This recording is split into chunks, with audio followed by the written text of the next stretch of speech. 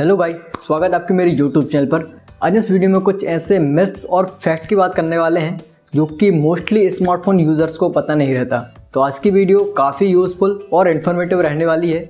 अगर पहले मिथ्स की बात करें तो मोस्टली यूज़र समझते हैं कि ब्लूटूथ की रेंज सिर्फ़ 10 टू 15 मीटर रहती है और ब्लूटूथ से केवल आप कुछ फ़ोटोज़ और अपने आइडियो प्रोडक्ट जैसे टीडब्ल्यूएस ब्लूटूथ स्पीकर और वायरलेस एयरफोन को कनेक्ट कर सकते हैं। बट फैक्ट ये है कि ब्लूटूथ की रेंज ना कि कुछ मीटर से लेके, बल्कि कुछ किलोमीटर तक रह सकती है। और ब्लूटूथ से ना आप अपने आइडियो प्रोडक्ट बल्कि एक डिवाइसेस को रिमोटली फुल एसेस भी कर सकते हैं। तो ब्लूटूथ ना सिर्फ़ कनेक्टिविटी बल्कि एक काफ़ी काम की टेक्नोलॉजी है।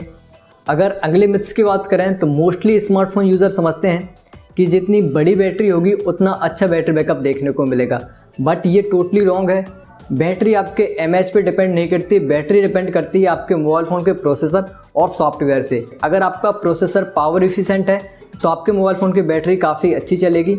अगर आपके मोबाइल में एक पावर इफिशेंट प्रोसेसर नहीं है तो चाहे आपके मोबाइल में 6000 हज़ार की बैटरी हो या फिर 7000 हज़ार की बैटरी हो, आपका मोबाइल उतना अच्छा बैटरी बैकअप नहीं देगा।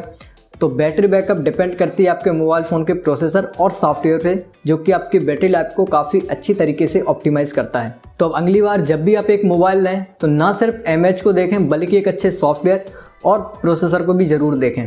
अगर अगले मिथ्स और फैक्ट की बात करें तो मोस्टली स्मार्टफ़ोन यूज़र समझते हैं कि आप अपनी प्राइवेट फ़ोटो को डिलीट कर देंगे तो वो परमानेंटली डिलीट हो जाती है। ये टोटली मिथ्स है। वो फ़ोटो परमानेंट डिलीट नहीं होती। किसी भी रिकवरी सॉफ्टवेयर की हेल्प से आप उस फ़ोटो को दोबारा रिकवर कर सकते हैं। जब तक उस फ़ोटो की मेमोरी लोकेशन पे कोई दूसरी फ़ोटो ना आ जाए, तब तक वो फ़ोटोज़ आपकी मेमोरी में स्टोर रहेगी।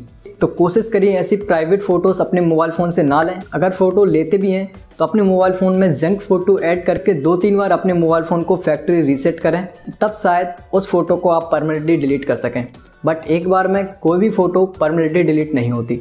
अगर अगले मिथ्स और फैक्ट की बात करें तो मोस्टली स्मार्टफ़ोन यूज़र समझते हैं कि जितना बड़ा मेगापिक्सल रहेगा, उतनी अच्छी वीडियो और फ़ोटो क्वालिटी रहने वाली है। तो ये भी एक मिथ्स है।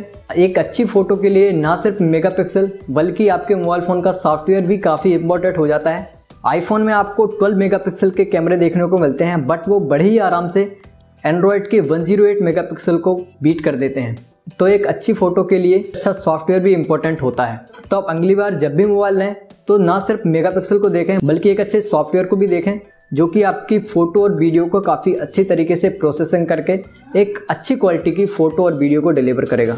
अगर अगले मिथ्स और फैक्ट की बात करें तो मोस्टली स्मार्टफ़ोन यूज़र समझते हैं कि वो अपने मोबाइल फ़ोन का फ्लाइंग मोड ऑन कर देंगे तो उनकी लोकेशन या फिर एक्टिविटी को कोई ट्रेस नहीं कर पाएगा। तो ये भी एक मिथ्स है। अगर आप अपने मोबाइल फ़ोन का एरोप्लेन मोड ऑन भी कर लें, तब भी आपकी लोकेशन को बड़ी आसानी से ट्रेस किया जा सकता है। साथ ही में आईएमआई नंबर से आपके मोबाइल फ़ोन की लोकेशन और नियरेस्ट टावर को भी बड़ी आसानी से ट्रेस कर लिया जाता है। तो ये थे कुछ कॉमन मिथ्स जो कि मैंने फैक्ट के साथ इस वीडियो में आपको बताया है। आई होप आपको वीडियो पसंद आया होगा। अगर आप ऐसे ही गैजेट्स टैक और टिप्स रिलेटेड वीडियो चाहते हैं तो चैनल को सब्सक्राइब कीजिए।